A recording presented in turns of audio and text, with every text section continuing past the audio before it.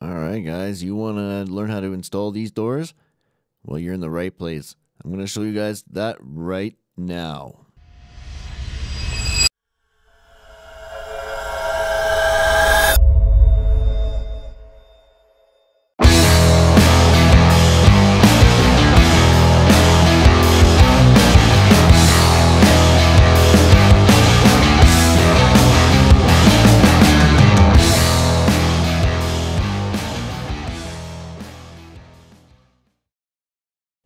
First, you're going to want to check your layout. Make sure that your door opening is good. So, um, so 40 inches, 40 and a quarter is usually what I end up doing if I don't have a door frame size is 40 and a quarter. Uh, but check, make sure you don't need to do any uh, adjustments to the bottom track or top track, whatever. Check the uh, elevation of the header as well. Uh, measure from the bottom of the, the uh, frame to the top there and make sure your header height is good.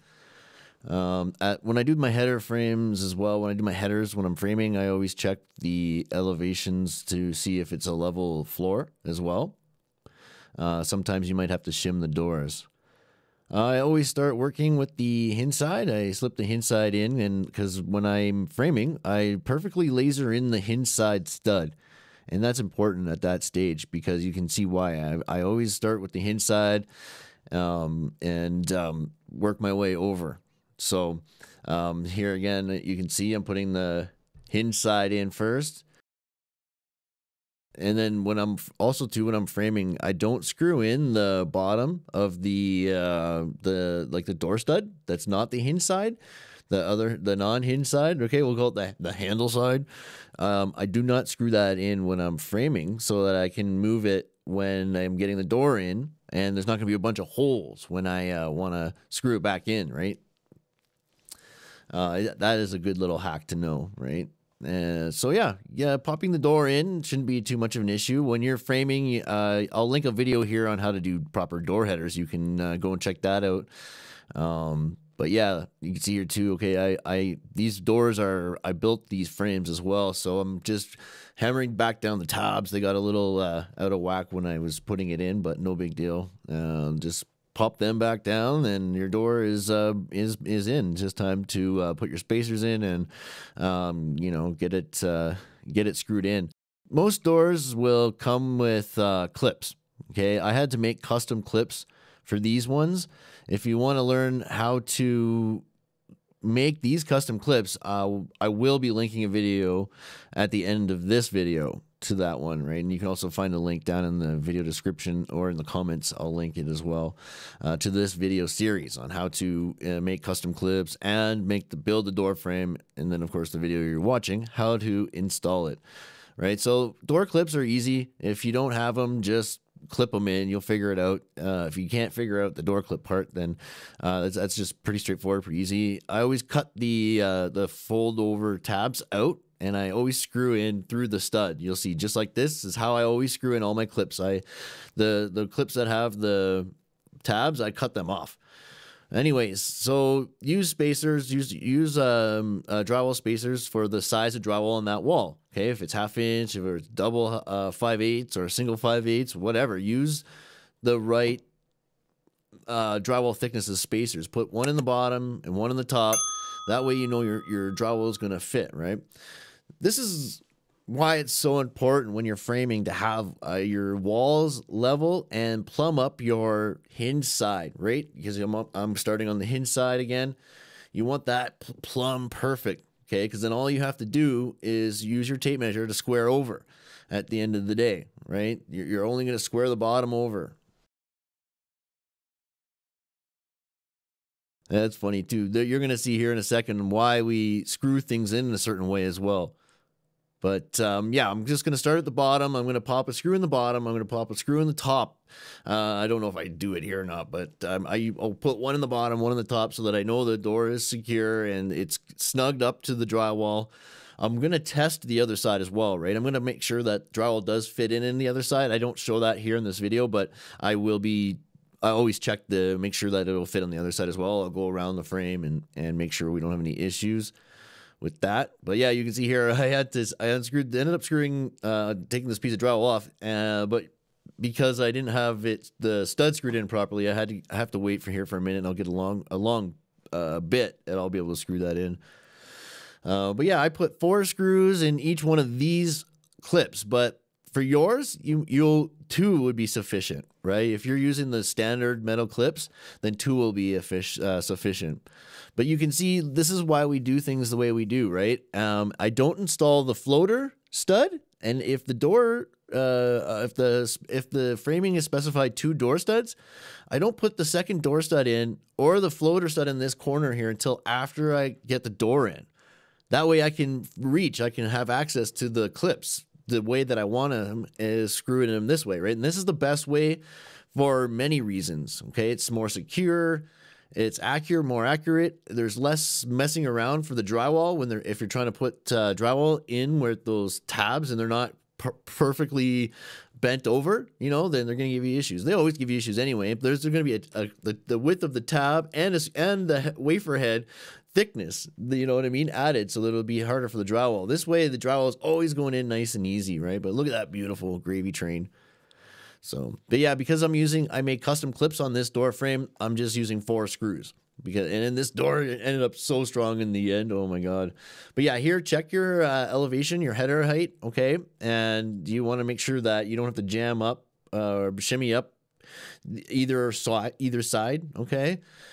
But, um, yeah, yeah, yeah. This is where you'll see this is the right way to screw your corner studs in, but you'll learn that when on the uh, the the next series I'm doing on framing here. I'm going to show you how I framed all these walls, drywall, everything. I'm going to be going through the corners in quite detail, how to show you how to right from layout to taping. So watch out for that. Make sure you're subscribed to the channel for those videos. They're coming soon. But yeah, I just simply moved the the corner stud out of the way. That's why you put the screw in the front, not on the other side of the track on the inside. You know, you put it in the front of the stud so that you can easily take it out uh, to move it to screw in the door clips, right? Or hammer drill. A lot of times you'll be hammer drilling and pin bolting down these um, these sides, right? So if your door has to be hammer drilled down, that's simple too. Just use the spacers like I showed you here all the only difference is you're going to be hammer drilling uh, down and putting pin bolts in at the bottom, right? But this is still the same way, right? Uh, so yeah, then we're gonna square over the bottom, uh, make sure it's the same measurement at the top, and uh, yeah, your studs, your framing uh, should be there. Should be. That's why I always do leave my my track a little bit shorter than the actual door opening itself, so that I can push it out to meet the door and it, and the track isn't going to be in the way if I have to move the door out, right? So it always works out just to leave the, your track a little bit short there when you're framing. But uh, so yeah, I'm gonna make sure it's square. I'm clamping the the stud. I'm gonna screw it in. I'm gonna square it across, and I'm um, gonna do the same thing with the spacers are are already in. I'm going to screw the clips in, starting with a screw in the bottom and the top, and then blah blah blah. Right, four screws every um, every clip. But the, the the main thing is here is to make sure that this stud here is uh, squared over from the hinge side, but it is also squared on in itself. Okay, squared to the back side of the door. You want to make sure that the front and the back of the door is square.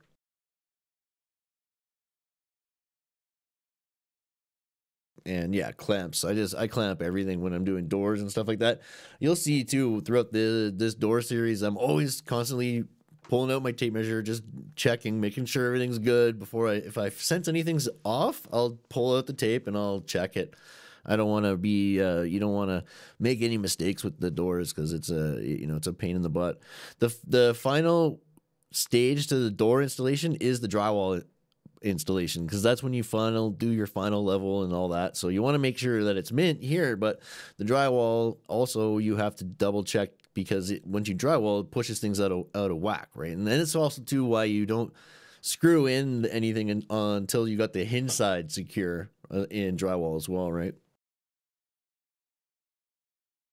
You can, uh, yeah, you see here, I'm just screwing it in, making sure that the door frame is snug up to the drywall spacers there uh, that we put in, right? Um, the wall should be perfectly level. So you know the door is going to be level. Uh, I know this perfect level. I framed the walls, but you might want to check that just to make sure Uh, if there's no, there's not gonna be any issues. If the wall is too far out of level, the door won't open, right? So check that quick if uh, if you didn't frame the wall. And yeah, plumb up the hinge side and square across. That's simple, simple, simple, right? Plumb up the hinge side, square across. Um, the spacers will make sure the drywall fits you know, uh, screw them in on one side, check check on the other side, make sure the space the drywall will go in, and uh, you don't have to make any adjustments. Uh, make sure that the drywall will go in. That's very important with these doors because they won't be fire rated, and they won't pass if the drywall doesn't go inside the door, right inside the frames.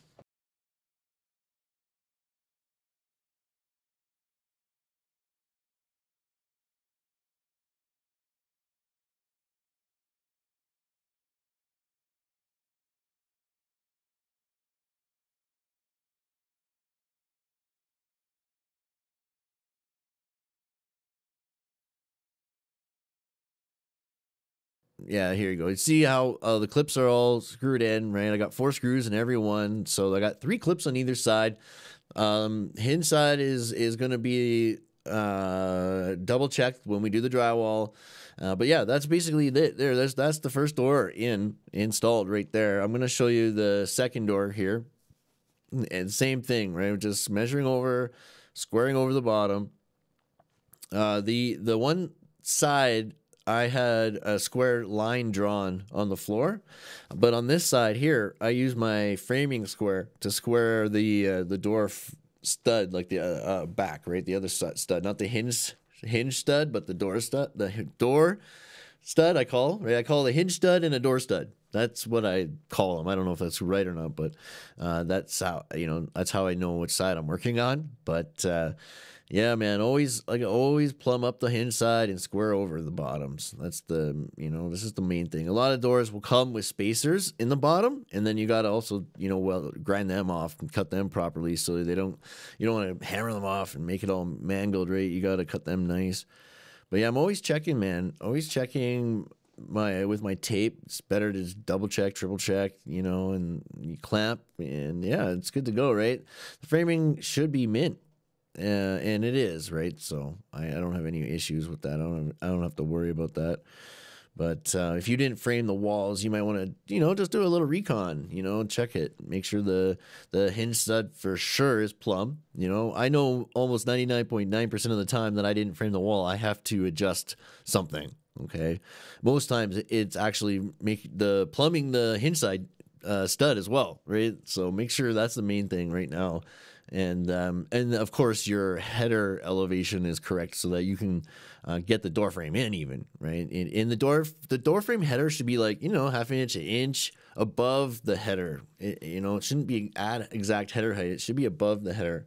You want to be able to get screws in that baby you know? That's important part of the uh, structure of the door is the is that header that track. You need to screw into that to secure the, the header studs and the door frames. And you want to make sure you screw all the way up the stud when you're drywalling on a uh, a door, right? Because yeah, it's it it's still this is only kind of like a half the battle. The drywall is how it finishes. But now that the door's in, I can put the floater studs in. I can um, put the door stud, other door stud in. But yeah, watch these other two videos here. Um, I'm gonna the one here on the left. I'll be showing you guys how to build the custom clips, and the one on the right, I'll be showing you how to build the actual frame. So get subscribed. There's lots more content coming. You don't want to miss out. This is Chris